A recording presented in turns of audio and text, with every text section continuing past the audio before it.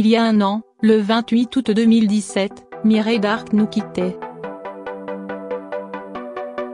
L'actrice est décédée à l'âge de 79 ans, après avoir subi trois attaques cérébrales. Le monde du cinéma lui a rendu hommage, nombre de personnalités du 7e art se sont retrouvées à ses obsèques, notamment son ancien compagnon Alain Delon, le fils de ce dernier Anthony, ou encore de Johnny et son épouse Laetitia Hallyday. Outre le cinéma, Mireille Darc avait une autre passion qui lui tenait très à cœur.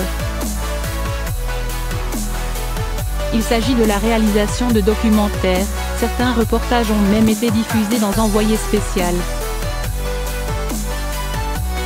Une autre facette de la personnalité de la grande sauterelle évoquée dans le documentaire Mireille Darc, une femme libre, diffusé ce vendredi 24 août sur France 3. Bernard Benjamin, ancien présentateur du magazine, s'est souvenu du talent de la comédienne pour les documentaires. On a l'habitude de dire qu'un journaliste doit savoir poser de bonnes questions. On oublie trop souvent de dire qu'il doit savoir écouter, rapporte-t-il. Et il y avait une écoute chez Mireille, qui était exceptionnelle. Pour Mireille Le Darc, ses reportages étaient ses lettres de noblesse.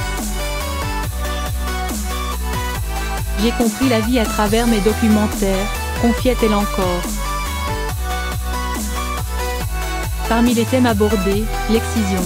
Pour les besoins d'un documentaire écrit et réalisé par Mireille Darc, en collaboration avec Nathalie Anselem, elle était partie à la rencontre de femmes ayant subi une ablation du clitoris, écoutant leur douleur et s'intéressant aux chirurgies réparatrices.